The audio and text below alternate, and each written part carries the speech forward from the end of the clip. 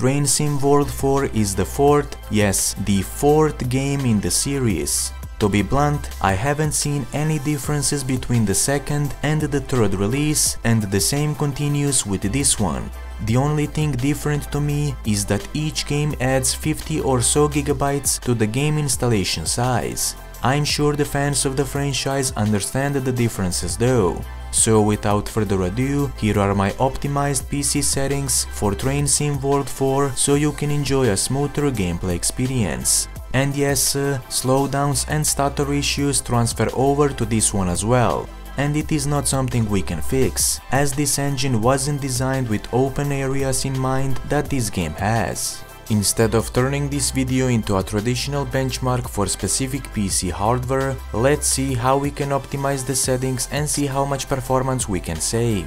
Before we proceed with the optimization process, uh, download and install uh, LowSpecs Experience. The download link for LowSpecs Experience is available in the video description LowSpecs Experience is a PC video game optimization solution that I developed uh, that allows you to optimize your favorite PC games for maximum performance. So first of all, start the installation process for the LowSpecs Experience. Once the installation is complete, start it from the newly created desktop shortcut.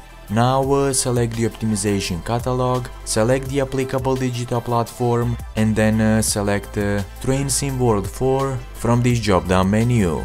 Once done, uh, press the load the optimization package. LowSpecs Experience will automatically detect a supported game version on your system. Now press OK and the optimization control panel will load. Once the optimization control panel has loaded, select the desired optimization presets and the rendering resolution for the game.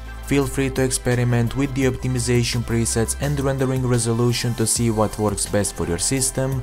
And now, uh, to apply the optimization, press the execute optimization button and then uh, start your game.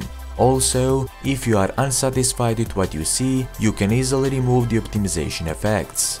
That will do it for this video. If you found this video helpful, be sure to like and subscribe. Until next time, happy gaming!